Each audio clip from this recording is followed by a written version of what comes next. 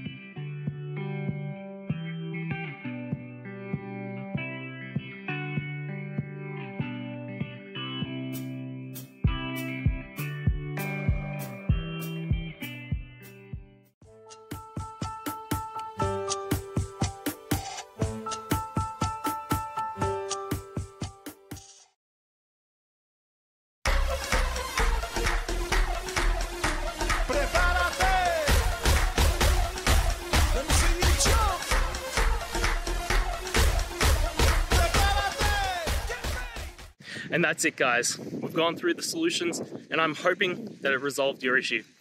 If it did, please hit the subscribe button. I'd really appreciate it. And until next time, I hope you have a good one. Cheers.